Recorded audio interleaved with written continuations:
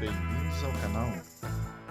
Eu sou o Tata Rodrigues e esse é o canal Fonosfera. De volta aqui com mais um vídeo. E agora hoje vamos falar aqui do da plataforma Discogs, que é discogs.com. É, já ouviu falar da, dessa plataforma? A Discogs é uma é uma comunidade né, de colecionadores e vendedores de mídia física. É uma plataforma digital né, que foi criada em novembro de, do ano 2000. Reúne né, um, colecionadores e vendedores de mídias físicas, de vinil, CD, Blu-ray, DVD, o que seja, né? É, Discogs seria a abreviação para discografias e é um banco de dados de informação sobre discos, incluindo itens promocionais, comerciais e discos não oficiais, os conhecidos como piratas, né? As informações eh, são colocadas no, na plataforma, né, no, no site, eh, são colocadas pelos próprios usuários e depois os, os próprios, os outros usuários, eles verificam essa, essas informações. Informações como, por exemplo, assim, um, uma edição de um disco, é, informação sobre o ano, é, que, outras informações técnicas que estão o código do disco, é, todas as informações técnicas são colocadas lá e, e acabam sendo verificadas pelos próprios usuários e corrigidas uh, pelos próprios usuários mesmo, né? Se houver necessidade, né? Dessa forma, tornou-se um dos maiores bancos de dados de um dos maiores bancos de dados de música online. E é o maior banco de dados no que se refere ao vinil, discos de vinil, né? São mais de 8 milhões de itens catalogados e, e, em todos os formatos e gêneros, né? Tem cerca de 4, mais de 4 milhões e 900 mil artistas cadastrados no, no site, né? Eu tô aqui com a, a tela aberta aqui no, no site, né? Com o meu, meu perfil, né? Aqui na plataforma, né? E, e aqui é o que começa, né? Que, que ele, aqui já foi para minha coleção, por exemplo. Que aqui a minha coleção tá, tá cadastrada aqui. Aqui ela diz, tá todas todos os itens que eu tenho tá dando 1132 itens. Tudo que coloca aqui, ele, ele vai cadastrando. Por exemplo, aqui tá cadastrado pelo pela mais nova adição, né? Pela mais nova aquisição. Aqui, o último aqui foi que eu cadastrei foi o Lindsay Buckingham, Law and Order, tem o Kajagoogoo, Wild Feathers. Faz mais ou menos um mês atrás que foi colocado aqui, né? The Stone Roses, o a trilha sonora do Good Morning Vietnam, a banda Clannad, com o disco Macala. Então aqui no cadastro do Discogs é cadastrado como item, né? Por exemplo, esse esse pequeno box aqui da Chaka Khan, ele tem 5 CDs. Mas ele é cadastrado como um item, né? Assim como outros boxes aqui são é, é um, conta como item, é outro do Santana aqui, ó. Aqui tem 5 CDs nessa caixinha de CD aqui cadastrado como um item, né? Uh, o interessante aqui é que as informações vão sendo colocadas, porque aqui dá para ver igual aqui no CD do Love Unlimited Orchestra. É, tem o preço. O preço não que é, um, é o preço que foi comercializado esse CD, esse item dessa forma foi comercializado tem o preço mínimo, o médio e o máximo.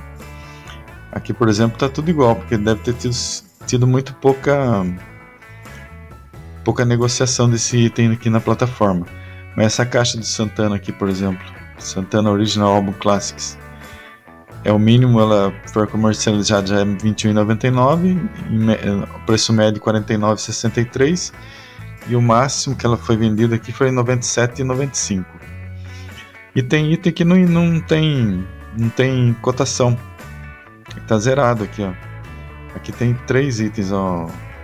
Esse CD aqui do Love Metal, Nina Simone. O outro do Love Metal, Louis Armstrong também não tem. Aqui o Stray Cat já tem. For Speed, versão nacional de 1983 do Brasil, né? Os dados tão, vão aparecendo aqui. E aqui tá os preços, né? Do mínimo 56, médio 64, máximo 73. Vamos abrir aqui esse, esse, esse item aqui, o for Speed do Stray Cats. Aqui que eu, esse aqui que eu tava falando, né? Todas as informações elas vão sendo colocadas aqui. E são muitas informações, né? De, de o, o, código do. Eles falam do formato, a gravadora, essa, essa numeração aqui, que cada, cada edição, essa numeração aqui, cada disco, cada item do. Um, um CD que é lançado, ele tem um, um número que indica que o é, quando que ele foi feito, o código dele da época, né, que foi como ele foi cadastrado e ele, esse código ele, ele, ele é o mais fácil de achar aqui na, na, na plataforma, né? O legal aqui que a gente vê na, na, na aqui na plataforma, né? O quanto vale a minha coleção segundo a plataforma, né? Ele começa a aparecer aqui. Quando eu olho isso aqui, eu me sinto muito rico, né? Aqui, aqui ele fala assim: Collection Value. O mínimo é R$ 35.786, preço médio R$ 59.587 e máximo R$ 109.241. Então, quando eu vejo isso aqui, eu me acho o cara mais. Então, me acho rico com esses, com esses itens aqui, né? Só que isso é, cada, é só o que tem preço, né? Por exemplo, esses que estão com preços aqui, ó, não aparece preço, eles não estão nem contando. Então, se ele tiver, se ele tiver algum preço, ele vai, ele vai mudar essa, essa, essa esse valor do, da coleção aqui, né? Mas outra coisa que eu estava olhando aqui outro dia, né? Você pode compilar aqui, fazer uma compilação do, do, da sua coleção por, por nome de artista, né? De A a Z, de Z a A, por título, pelo, pelo, pelo selo, né? Pelo número de catálogo, né? Pelo formato, pelo ano, pelo rating, né? Que é a nota que é dada que é dada na, na plataforma, né? São essas estrelas aqui. E também dá para procurar pelo mais velha aquisição, pelo mais nova. Outra coisa interessante que eu vi aqui, que eu estava vendo um, um vídeo na, no YouTube do o cara procurou os discos mais barato da coleção dele, né? E eu fui dar uma olhada aqui na plataforma qual o disco mais barato, segundo a plataforma que eu tenho aqui, né? Eu me deparei aqui com esse CD aqui do The Verve, Urban Hymns, que eu tenho aqui. Aqui o mínimo ele já foi comercializado a 76 centavos. Que absurdo, é um preço ridículo, né? Mas é interessante que, né, que tá 76 o mínimo, médio 11,57, razoável, né? e o máximo R$ 43,07. Eu esse disco aqui, esse, esse CD que eu tenho aqui, é esse aqui, né? É importado. E ele tá novinho. Ele é praticamente novo. Eu comprei usado de um vendedor italiano. E ele não, não lembro quanto ele custou, mas não custou. Não custou 20 reais, eu acho, com todas as despesas. Eu não lembro aqui agora, não tô com a com a lista de preço. Eu tenho um, uma, uma listagem de preço separada do que eu paguei, né? Uma planilha, na verdade. E aqui eu vi que tá esse disco aqui, né?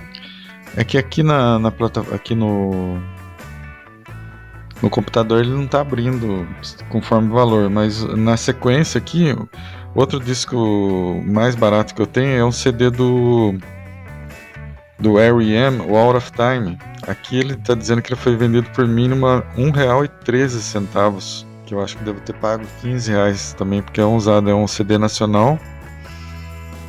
Outro que está falando aqui que eu fiquei surpreso também é o um CD da, da banda Pretenders, o Last of the Independents. Então agora abri a página aqui, né? O Pretenders Last of the Independents, R$ 1,35. Esse aqui eu comprei no. É importado mesmo, mas eu comprei pelo Mercado Livre. Esse aqui. Ele tá aqui, o preço mínimo que foi comercializado foi R$1,35. Deixa eu procurar outro aqui que, que eu achei também muito barato. Vamos ver aqui. Então, outro que eu, que eu fiquei surpreso também que está muito barato foi esse aqui do a trilha sonora do filme The Commitments. Trilha sonora original, um CD importado dos Estados Unidos. Aqui ele foi comercializado já R$ 1,47. Muito barato. É o máximo aqui tá 46,71. Esse Commitments eu acho que eu comprei no pelo Mercado Livre, mas não, não lembro o preço também, não tenho anotado aqui. Agora vamos dar uma olhada no qual o item mais caro que eu tenho aqui, vou tentar achar aqui. Então, aqui na procura do item mais caro que eu tenho na coleção, segundo o, o Discogs aqui, né? É essa, esse box aqui do em CD do David Bowie, o Love and the Alien, do ano de 19, a coletânea de 1983 a 1988, né? Ela é uma importada mesmo, né? Eu acho que comprei pelo, se não me engano, pelo eBay. Mas vamos ver. Aqui diz que o máximo que foi, já foi comercializado aqui foi R$ 2.200. R$ 2.200. E aqui o preço médio é 473. Eu acho que eu não, eu não paguei 473. Aqui o mínimo é 195. Eu acho que eu paguei mais ou menos perto desse valor aqui. 190. Não deve ter sido mais que 200 reais, não. Com certeza não foi. E foi, eu comprei novo. Não comprei usado. Esse aqui é um produto novo. Pelo eBay, né? Mas acredito que. Olha, até essa, essa outra caixa aqui do David Bowie, né? Who Can I Be Now? O máximo aqui que ela pegou foi R$ 1.053. Mas vamos ver o segundo item. Segundo item mais caro aqui. Vou, colocar aqui na tela. Então, segundo item mais caro da minha coleção, segundo Discogs, né? É essa caixa aqui, David Bowie Five Years. A primeira caixa dessa coleção aqui de, de, de box, né? Que aqui o máximo que ela atingiu aqui na plataforma foi R$ 2.153,79. E aqui a gente já relaciona as caixas do, do David Bowie, que são as mais caras aqui, né? Então essa aqui foi 2.153. Agora deixa eu achar o terceiro item mais caro da minha coleção. E aqui de volta, né? Com o, Milton Nascimento e Loborges está dizendo que o, o, o, disco Clube da Esquina da Polisson, não é nem original, é o da Polisson aqui, que é um álbum duplo que foi lançado em 2017 aqui. Aqui no, na Discogs ele, ele falou que custou R$ 1.102. Foi comercializado aqui na plataforma. Eu acho que eu não paguei. Se eu paguei 100 reais foi muito nesse. Eu comprei numa promoção, acho que do, do da Amazon que baixou, porque esse aqui é novo. Esse aqui é uma reprensagem né, da Polisson. Mas aqui já chegou a 1.102 reais. Quem foi o milionário que pagou isso aí, né? E outro do, dos itens mais caros que eu tenho aqui na coleção foi o, essa caixa aqui do Pink Floyd Discovery, que chegou a ser vendido a R$ 1.102,50. O preço médio que deu 563, mas o mínimo aqui tá ridículo, R$ 6,22, né? Que, que é um absurdo, né?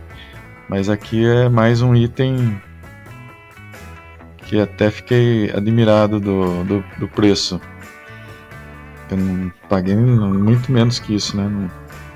Foi comprado usado, tudo bem que o meu é usado pelo, pelo Mercado Livre, né?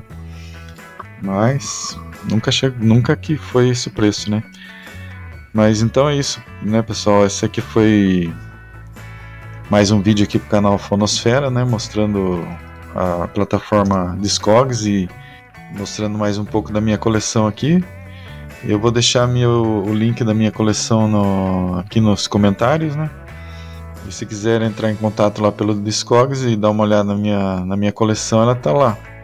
Diga aí, né, nos comentários se você conhecia ou conhece, está na plataforma Discogs, se gosta dela. Eu, falo a verdade, eu gosto, eu gosto bastante porque tem bastante informação, né, de, de... E eu achei legal porque deu para cadastrar cadastrar a coleção e a gente tem uma ideia de quanto item a gente tem, né? Eu tenho, acho que praticamente 99% deve estar cadastrado aqui do, da minha coleção, está cadastrado no, no Discogs. Eu consegui, porque eu comecei, a coleção estava pequena ainda, eu consegui cadastrar, algumas coisas ficou de fora, mas depois eu, olhando de novo, consegui colocar na, na, na, na cadastrar na coleção, porque ele deve ter entrado por, por outros, né, outras pessoas foram, foram adquirindo e foram colocando o item na, aqui no banco de dados, né? Mas eu gosto muito do, do Discogs, que, que a gente pode achar muita coisa aqui de informação. Mas então é isso, esse foi mais um vídeo aqui para o canal Fonosfera. Curta, comente e compartilhe esse vídeo, inscreva-se no canal e logo mais a gente volta com mais um vídeo aqui no canal. Obrigado, até mais, obrigado.